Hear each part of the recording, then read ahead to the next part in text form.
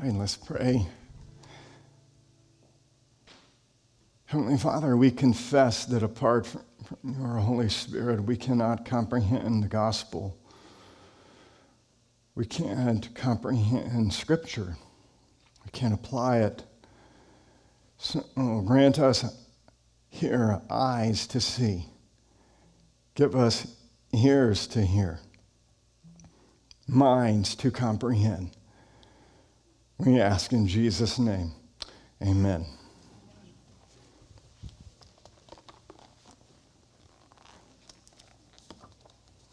Right, back at First John, we're going through uh, this great book. First John, if you have your Bibles, you can just turn back there to the first chapter, first five verses. What, what did the apostles preach? What was the content of their proclamation when the Holy Spirit, last Sunday was Pentecost Sunday, and the Holy Spirit came upon the apostles? What did they preach? What was the common theme that they preached? This, this, this is what they preached. This is what John says they proclaimed that Jesus is the Christ, He is the Messiah. To prove that He's the Christ Messiah, the apostles appealed to His resurrection. Listen to Peter. He says, he proclaims the gospel on the day of Pentecost when the Holy Spirit came. And he says this about Jesus. He says, Men of Israel, listen to these words. And then he proclaims Christ. He says, Jesus, the Nazarene, God raised him up again. God raised him up again, putting an end to the agony of death. Listen, because it was impossible for him to be held in its power. What a statement. Wouldn't you like to have heard that message? We got glimpses of it here. What a powerful statement. Jesus, he says, is the Christ and he's, as he's a Christ because he has, God has raised him up again. God the Father has vindicated him and his work, his completed work. And he says, This is my beloved Son, the Christ, the Messiah, and whom I'm well pleased. Therefore, he has raised him up from the dead, Peter says, because it was impossible for him to be held in its power. What a statement. The apostles in uh, chapter 5, verse 42, Luke says this. He, uh, he says of the apostles, every day, every day, in the temple and from house to house. They kept right on teaching and preaching Jesus as the Christ, the Messiah. Paul, Luke, Luke says in chapter 9, verse 22, the book of Acts, he says, He kept increasing in strength and confounding the Jews by proving proving that Jesus is the Christ, the Messiah. When he came to Corinth, Paul, Luke says that Paul devoted himself completely to the Word. Listen, and he testified to the Jews that Jesus was the Christ. Jesus was the Messiah. So the Holy Spirit comes upon the apostles. And every sermon in the book of Acts records them preaching Jesus is the Christ, Jesus is the Messiah, and they proved it because they said, and he is, he has risen from the dead. That proves that he's the Messiah. Now, here's the question Why did they labor to prove that Jesus was the Messiah? Why is that important? What is the significance of that? Why is that good news for us today? You see. Listen to what John says in 1 John, this, these opening verses. John says in verse 5 here, look at verse 5.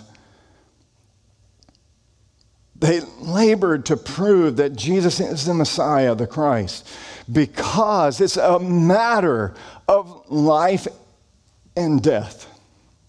That's why. It's a matter of life and death.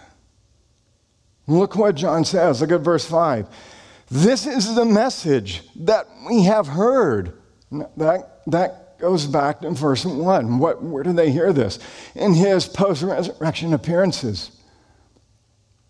Look what he says. What was from the beginning? What we have heard.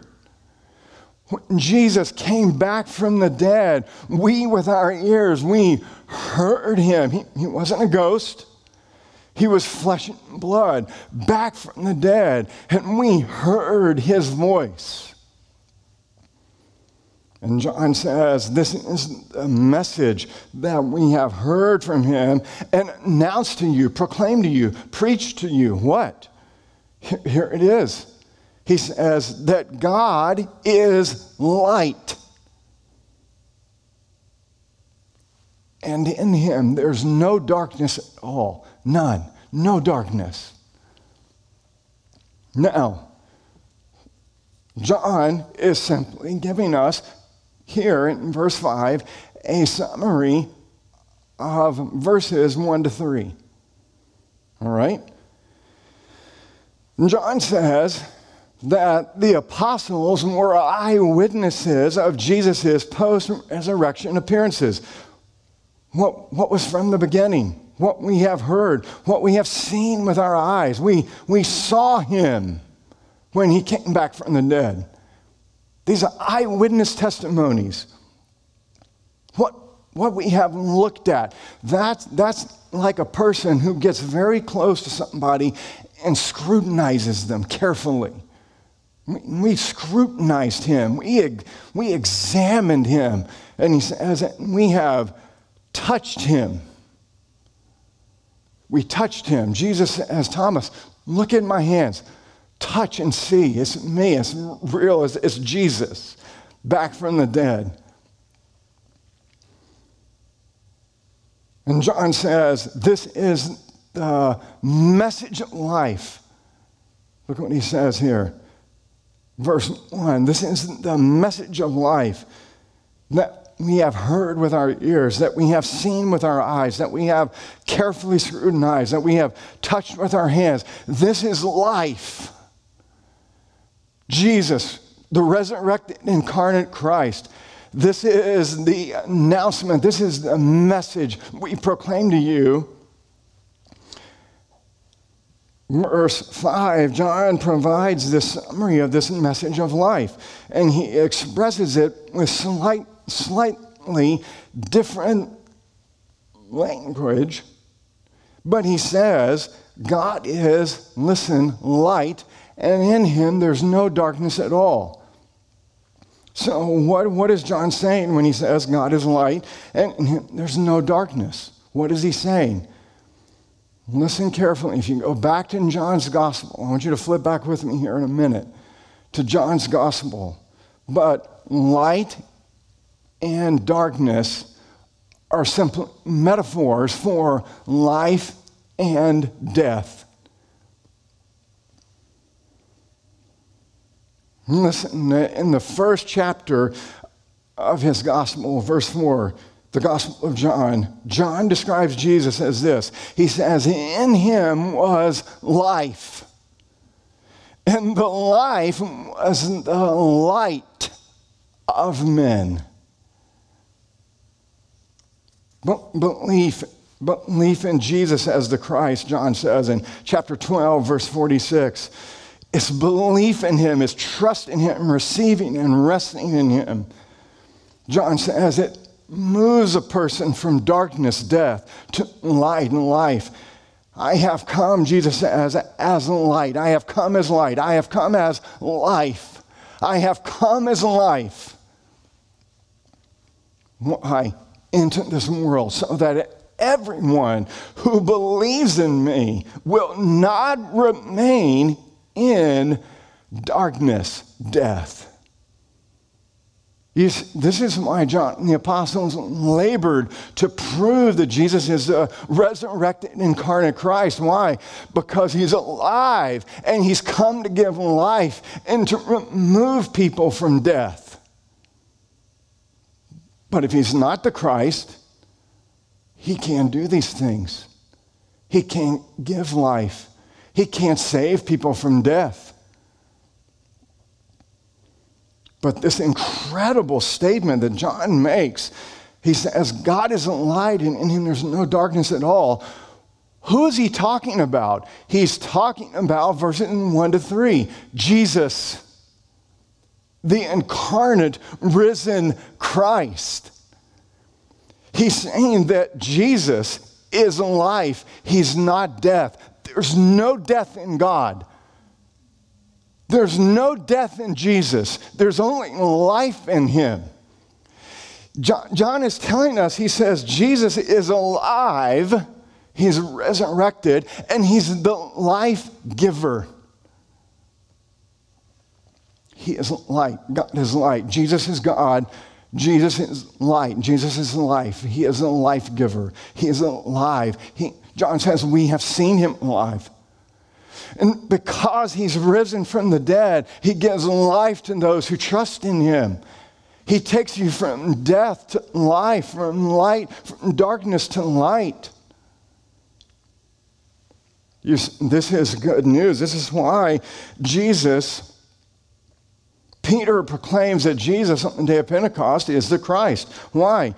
He says God raised him up again, putting an agony to the end, putting, putting an end to the agony of death. Why? Because it's impossible for him to be held in his power. Here's the question that just begs to be answered. Why is it impossible for Jesus not to be held in the power of death? Why is that impossible? John says, because God, because Jesus is light, because he is life. There's no death in him at all. There's no darkness in him at all. There is no death in God. You see, there's just life in him. And because Jesus is God, John says, he's life, he's not death. Jesus reveals to us, John says, this is the message that we have heard from him and that we announce, we proclaim to you. Jesus is alive and he is a life giver. That's good news, isn't it?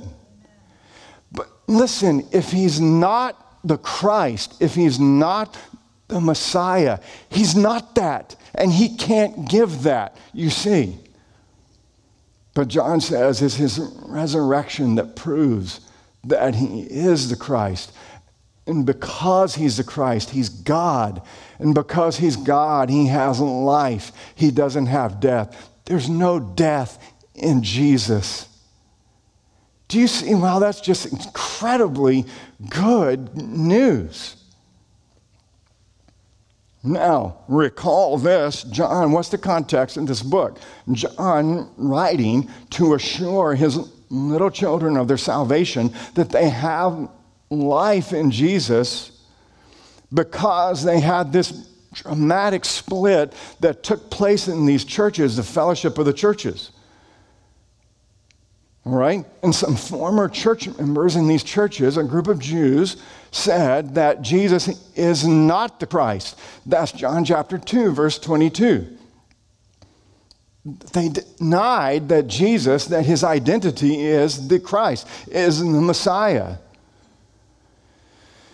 And because of this dramatic split that occurred, The, John's children, he calls them his children, his little children, a term of endearment.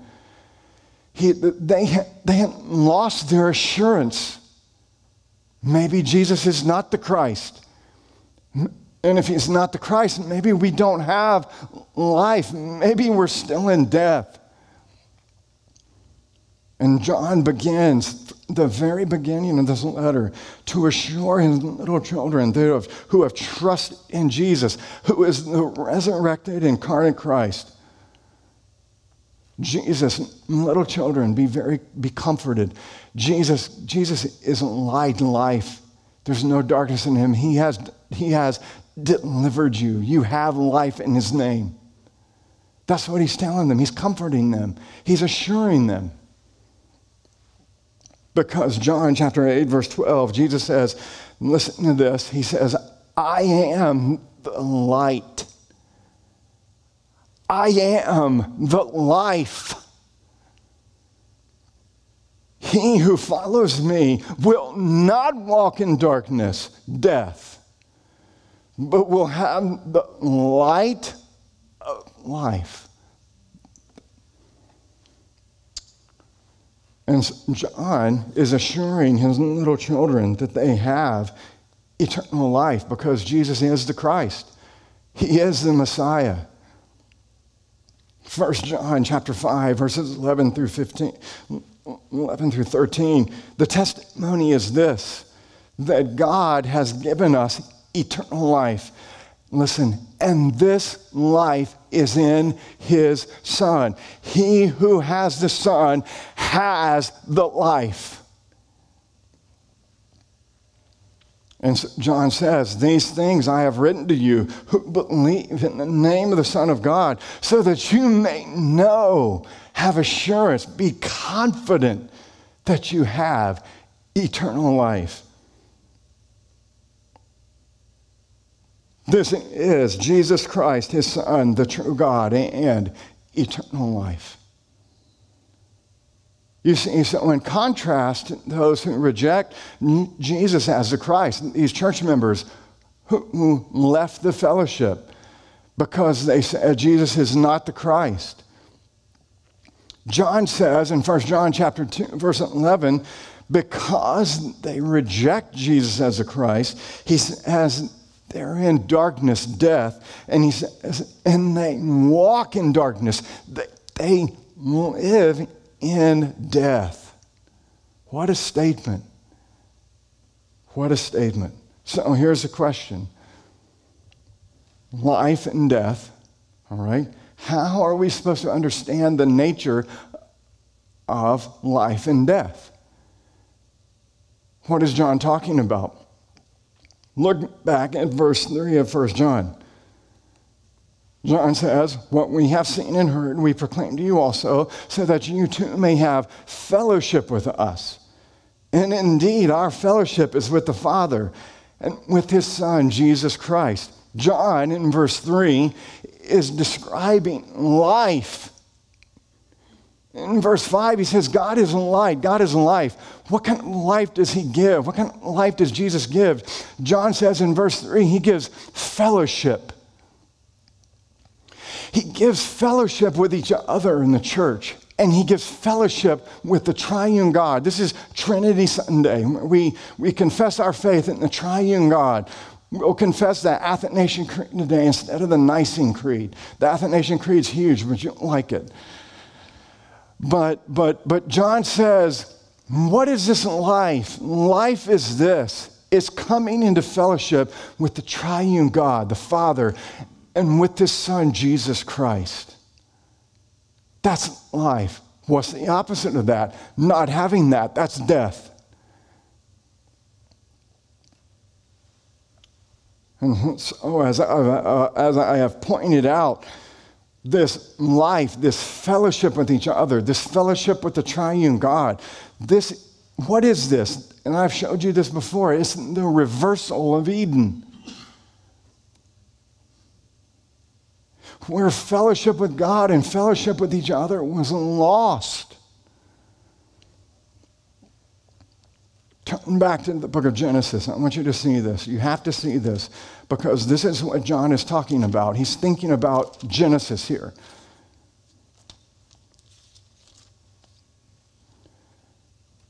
Genesis chapter 2.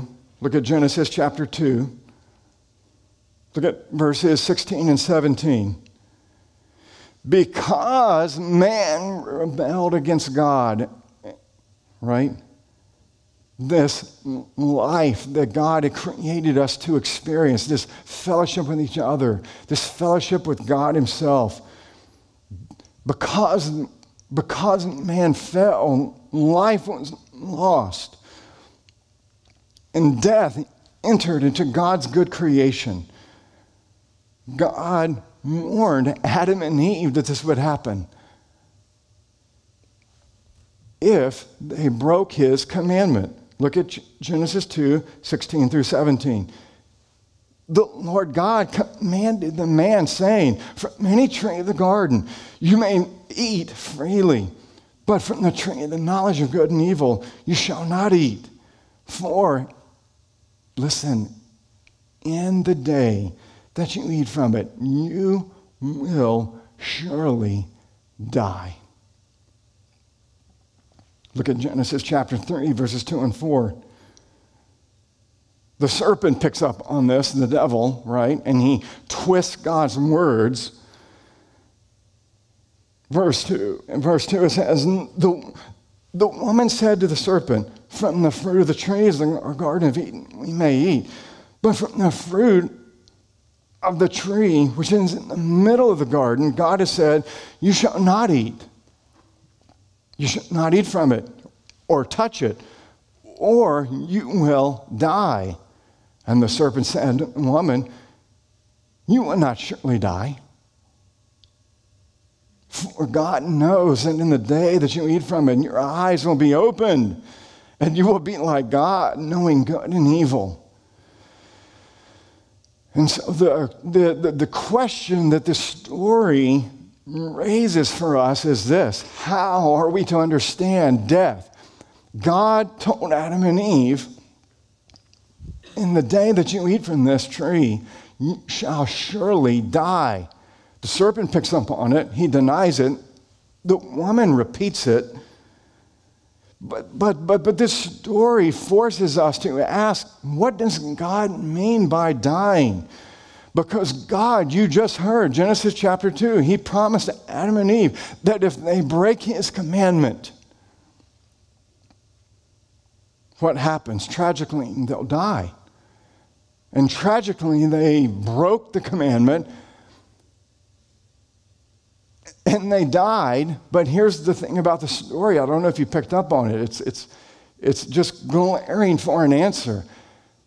They broke God's law and they died, but they continued to live. They were dead while living. You see that? And so clearly, the scriptures teach us that death doesn't just include the cessation of physical life. It does include that, we'll get to that, but it's more than that. Adam and Eve were still alive, but they died. They were dead while alive. So, how, how we understand death? Look at Genesis 3, verses 14 through 19. God pronounces a series of curses. And listen carefully. When God pronounces curses, judgment, that describes what it's like to be dead. That's death.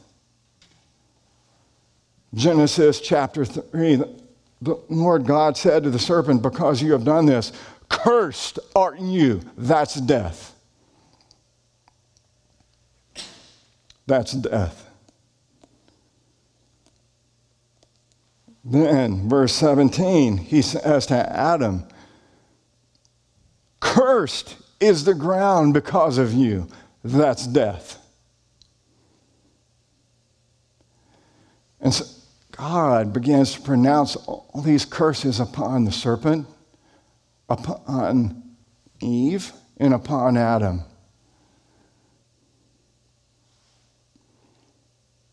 So to receive the judgment of God is to be brought into a state of death.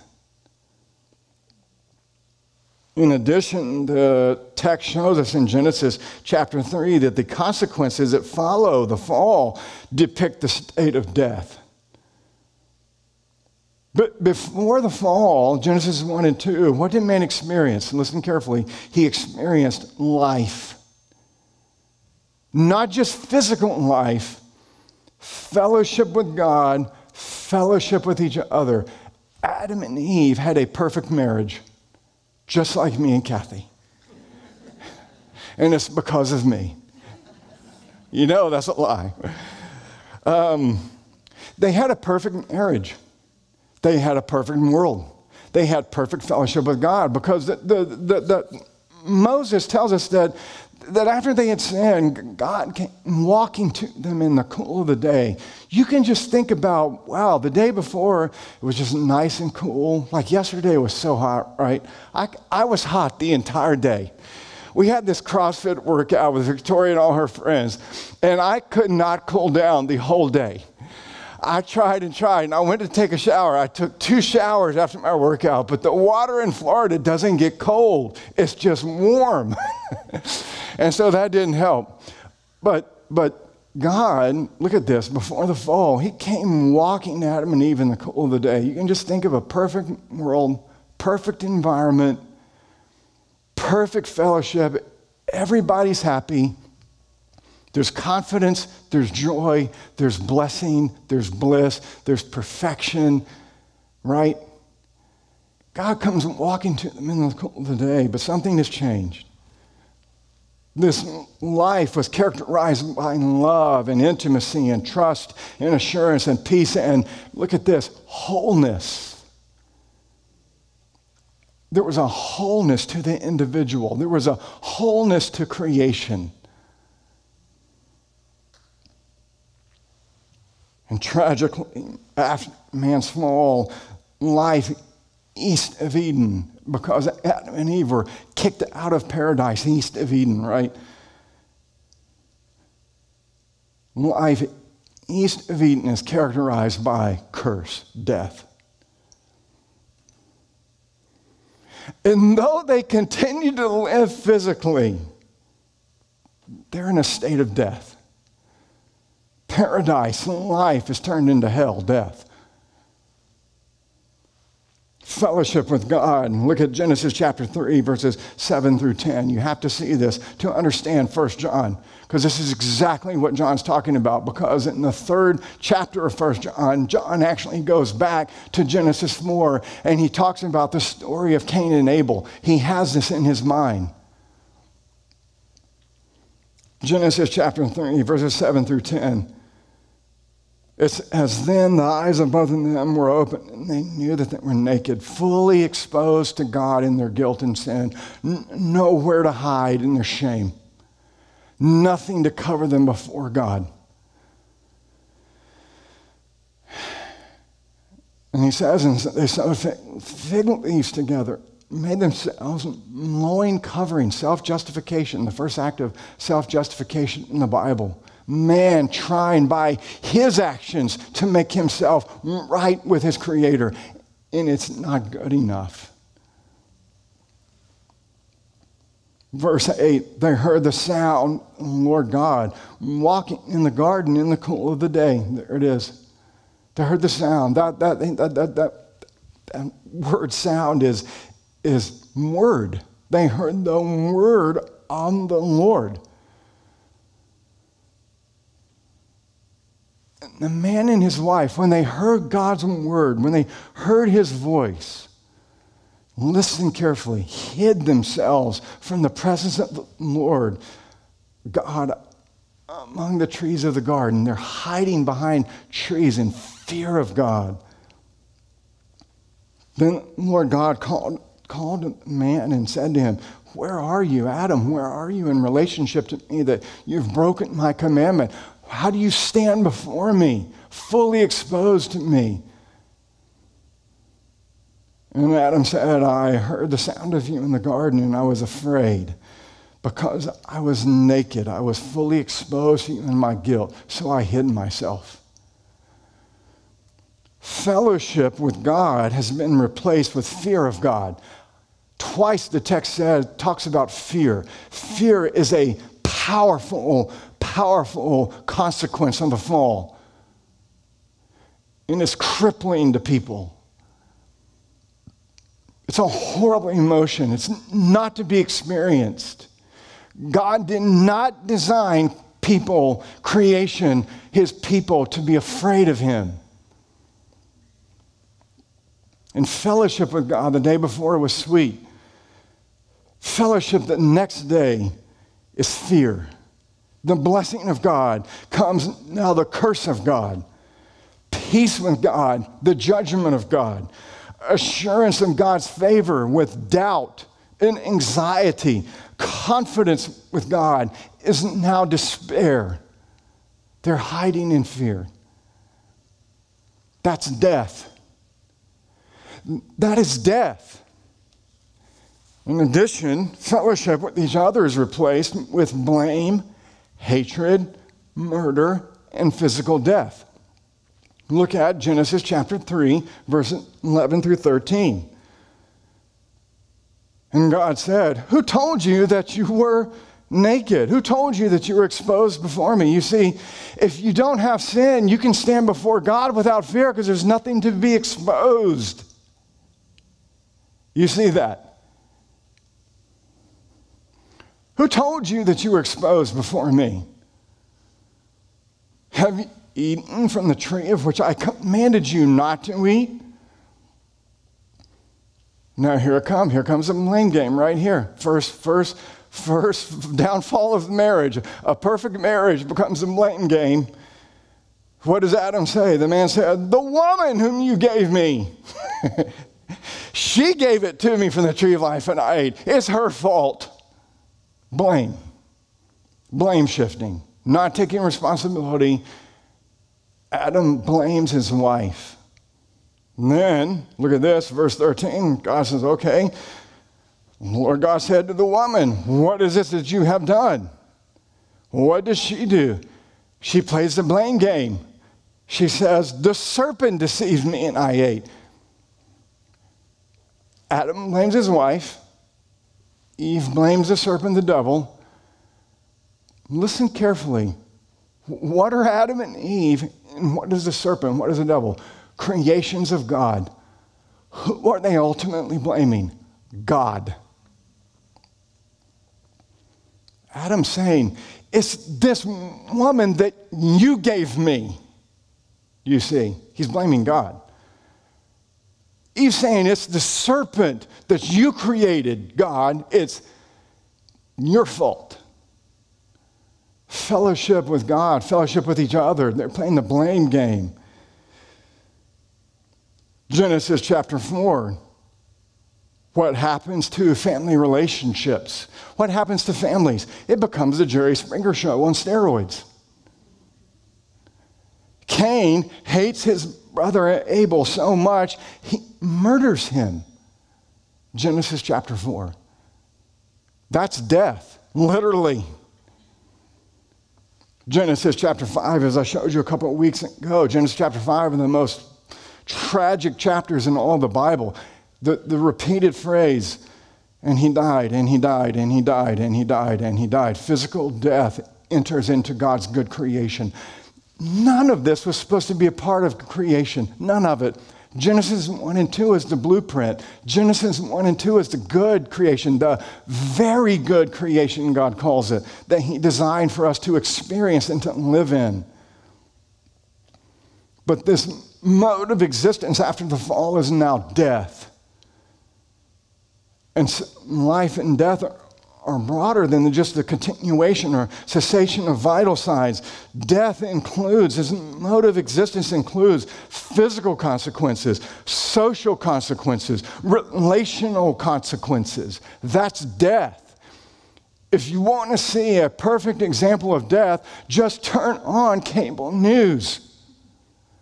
And if that does not make you feel negative and gross and depressed, it should because it's just nothing but negative, negative, negative, negative, negative. It's death. The Apostle Paul says in Ephesians chapter 2, verses 1 through 5, he describes uh, the humanity apart from Christ as dead while living. He says, You were dead in your trespasses and sins. Verse 5, he goes, We were dead in our transgressions. We were alive but dead. chapter 2, verse 5 of Ephesians, he says, Those who trust in Christ, he says, when we're dead in our transgressions, God made us alive together with Christ. By grace, you have been saved. So, coming full stop back to First John, back to First John as we finish. John is assuring his little children, he's assuring us today that through faith, through faith in Jesus, who is the incarnate, resurrected Christ Messiah, death in its totality, physical, social, and relational consequences, has been defeated forever. You see, that's what he's saying and life. Eden is back again. Genesis 1 and 2, what God intended for the goal of creation, is now inaugurated in the resurrection of Jesus, who through his resurrection has set into motion the powers of the age to come. And though now we live in this age of death, this world that is passing away, this world that is filled with hatred, murder, disease, death, dying, decay, all, all, of this. John says, We have been given life through Jesus and we have overcome. And he says in chapter 2 that you have overcome the world that is, passing, that is passing away. We have overcome. That's good news. So, on this Trinity Sunday, we ask this question as we finish Who is God? Who is God? Listen to John's answer God, the resurrected, incarnate Christ, Jesus. God is light, He is life. And in Him, there's no darkness, there's no death at all. Why is God life? Why is there no death in God? You ever thought about that? It's because God is a Trinity. That's why. The triune God's mode of existence, Father, Son, and Holy Spirit, isn't life, not death. He has lived forever, self satisfied within himself as the Father, Son, and Holy Spirit who is just experiencing life. There's no death in God. And because God is light life, He gives life through His resurrected Son. John says. He brings us into fellowship with each other. He brings us into fellowship with the triune God. He reverses the curse of Eden.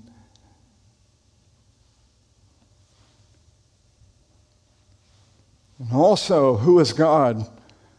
God, because He's a Trinity, is not just life, but because who is God? Because God is a Trinity, God is love. First John chapter 4, verses 8 through 16. God is love. We have come to know and have believed the love which God has for us.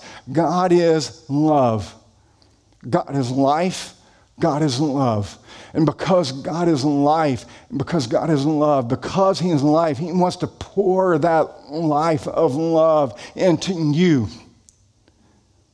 You see. John says, We've come to know and have believed the love that, that God has for us. What is this love that God has for us? First John chapter 4, verses 9 and 10. By this, the love of God was manifested among us, that God the Father has sent his only begotten Son into the world so that we might live through him. You see. And this is and this is love. Not that we have loved God, but that He loved us and send His Son to be the propitiation for our sins. He has exhausted His curses, His wrath, His judgment against us forever because Jesus took it upon Himself for us on the cross. And John says, We've come to know this love. Jesus manifests God the Father's love to us. We have seen the Father's love. We have heard the Father's love. We have scrutinized the Father's love. We have touched the Father's love. And we bear witness as eyewitnesses that we have seen Him and He's alive. And He wants to give you life because He loves you. And He gives you this life through His resurrected Son. First John chapter 3, verse 1. See how great a love the Father has bestowed upon us that we should be called children of God, and such we are.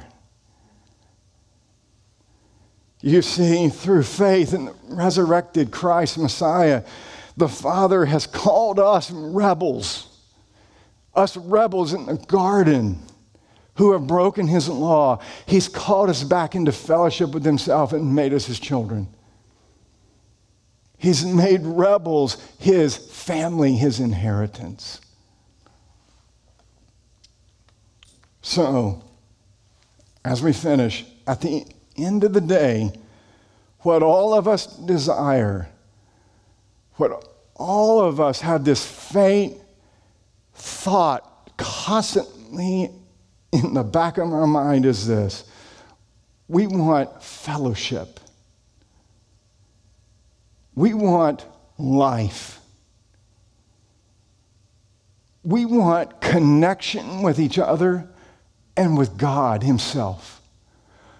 That's what Augustine said. Our hearts are restless until they find their rest in you.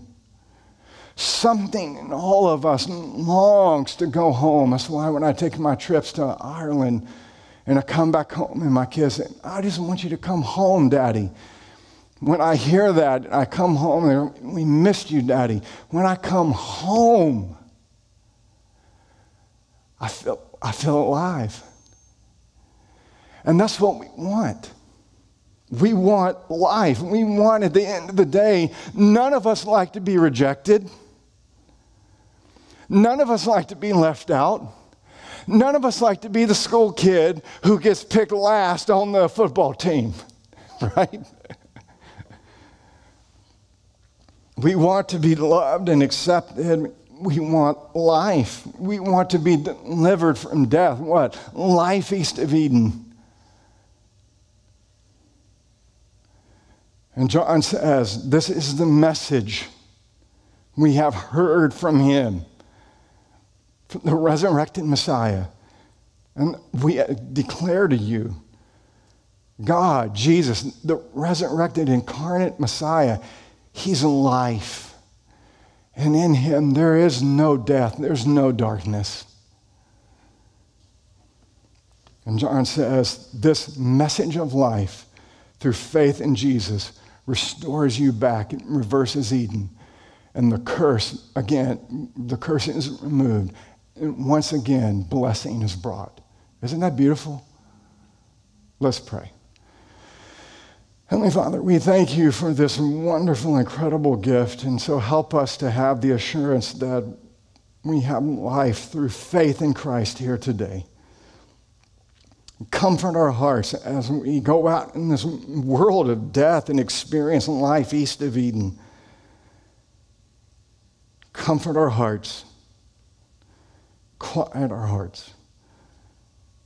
Help us to trust in Jesus, the resurrected life giver.